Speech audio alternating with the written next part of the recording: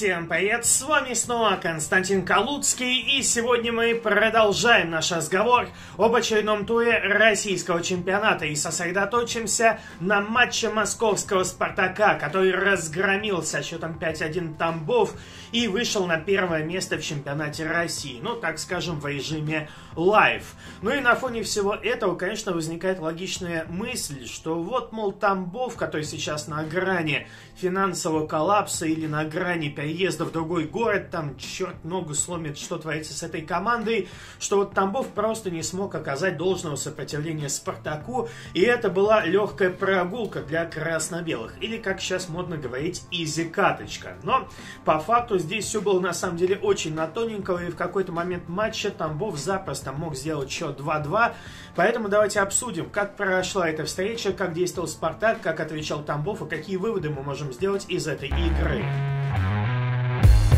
Из вас наверняка делают ставки на спорт, и мне хотелось бы посоветовать вам тот портал, где ставлю лично я. Это сайт OneWin. Там очень удобный интерфейс, там эксклюзивные линии и очень простая регистрация буквально в один клик. Поэтому выводить деньги там можно без комиссии и в любой валюте. Вот, например, недавно я сделал ставку на Динамо в матче против Тульского Арсенала, потому что на победу бело-голубых дают хороший коэффициент 1,7. И хотелось бы отметить, что вы можете воспользоваться моим эксклюзивным промокодом KOSTYA200.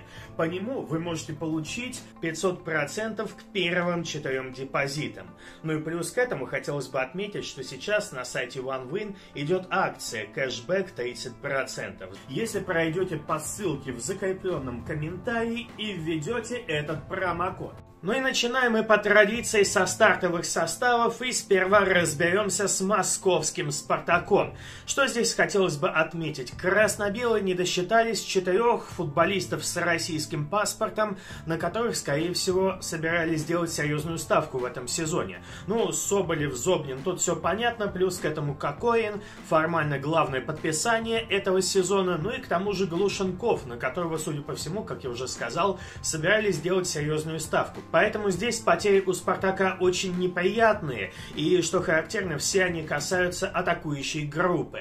Поэтому здесь, так или иначе, Спартаку пришлось импровизировать и, в частности, возвращаться к тем сочетаниям, которые в последнее время не используются. Вот, например, связка в центре поля. Умяров, Бакаев, Крал. Давненько мы не видели именно этого варианта полузащиты, потому что с появлением Мозеса Зобнин перешел в середину поля, ну а Бакаев из-за плохой формы вообще как-то растерял свое место и свой статус в «Спартаке». Но вот их снова используют здесь. И, в принципе, хотелось бы отметить, что середина у красно-белых, за исключением некоторых недочетов, сыграла неплохо. В атакующей группе мы увидели Понса и Ларсона, которые были уже безальтернативными футболистами, потому что Соболева и Кокорина нету. На флангах слева Айртон, справа Мозес. Ну а что касается центральной зоны обороны, здесь Джики, Жиго, Маслов. Тут все более-менее привычно. Ну и вообще, получается, пятерка обороны вполне себе основная.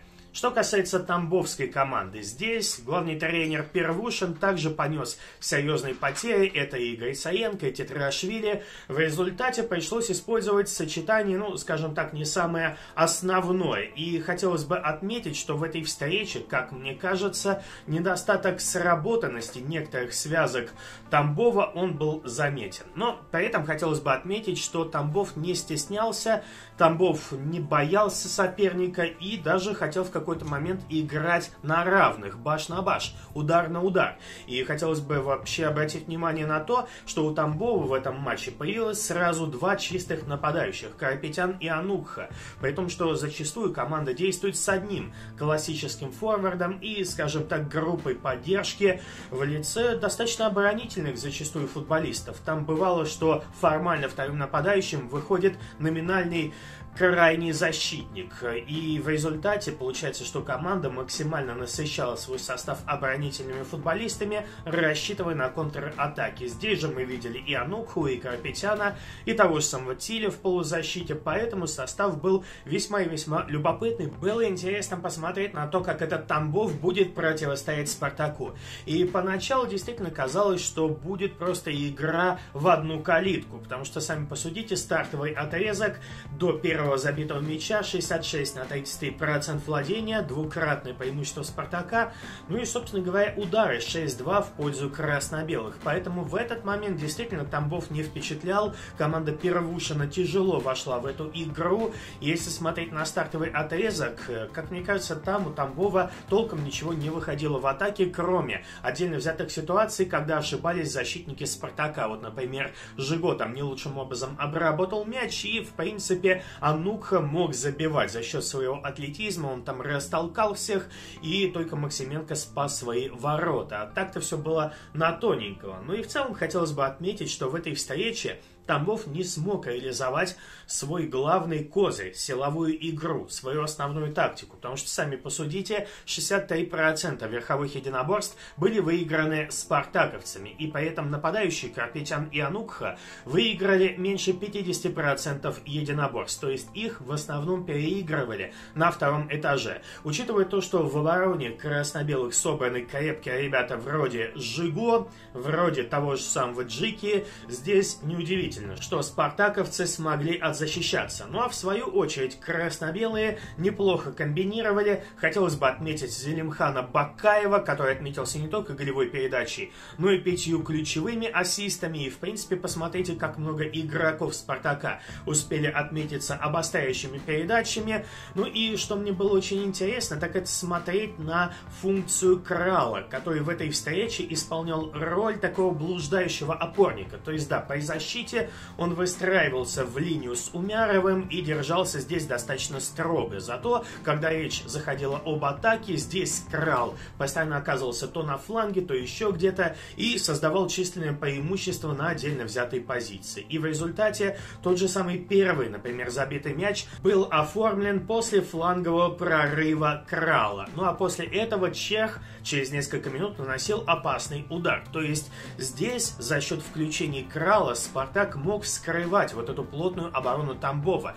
Ведь соперник мало того, что действовал в автобусной тактике, так у них еще и, э, скажем так, схема игры была идеальна для обороны против Спартака. Зеркальная схема, точно такая же, как у красно-белых 3-5-2. За счет этого можно было, так скажем, отражать полностью все позиции Спартака. И в результате получается, что все противостояние, оно сводится к таким индивидуальным дуэлям. Крайний защитник против крайнего защитника, защитника, опорник против опорника и так далее. Но за счет включения Крала, который как раз-таки смещался на другие позиции, Спартак и добивался перевеса в отдельно взятой зоне, за счет чего и создавал моменты. Ведь Крал, в принципе, был очень активен, там были другие хорошие шансы после его смещения, после его включений. В общем, здесь Крал выполнял роль, которая ранее очень часто отводилась Жиго, который включался в позиционную атаку и добавлял на какой-то отдельный взятой позиции нужного актива, нужных футболистов, чтобы создать численный перевес.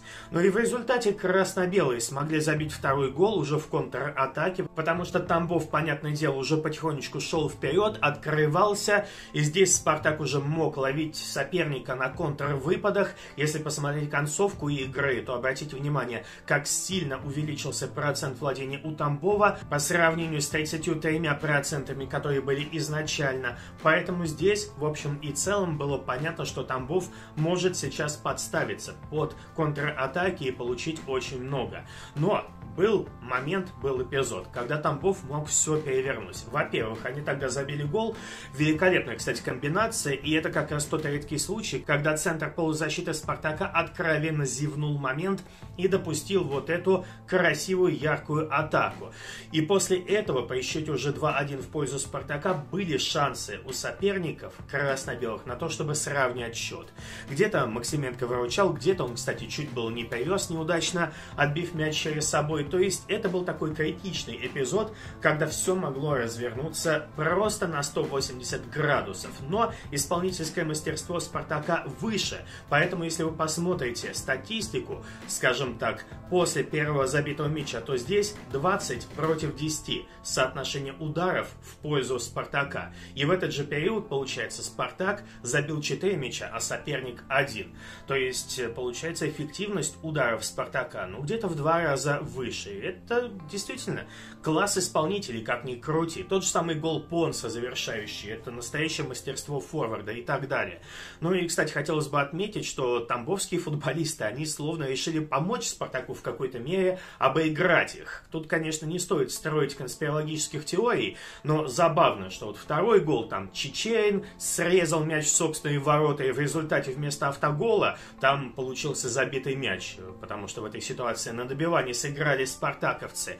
Четвертый гол, там, голевую передачу фактически Тамбов на свои ворота отдал со стандарта. В общем и целом здесь тамбовчане показали слабую реализацию впереди, потому что моменты у них были, они их просто не использовали, и при этом, конечно, бардачили по полной программе в обороне. Как бы банально это ни звучало, здесь исход матча во многом решил индивидуальный класс исполнителей. Поэтому я не могу сказать, что 5-1 это прям было уничтожение соперника. Да, счет получился 5-1, но повторяю, в какой-то момент Тамбов мог сравнять счет. И хотелось бы отметить, что команда Первушина в этой встрече. В принципе, не стеснялась атаковать, как я уже сказал, в какой-то момент игра пошла баш на баш. Если сначала, конечно, Тамбов в основном действовал в автобусной тактике, то ближе к концу матча тут уже пошел открытый футбол, поэтому и Спартак мог чувствовать себя достаточно вольготно и на относительно свободных зонах соперника создавать момент за моментом, который они эффективнее использовали. Станислав Саламович, ну вот сегодня хочу оттолкнуться не от матчей, а от вашего резонансного интервью, которое вы дали коллегам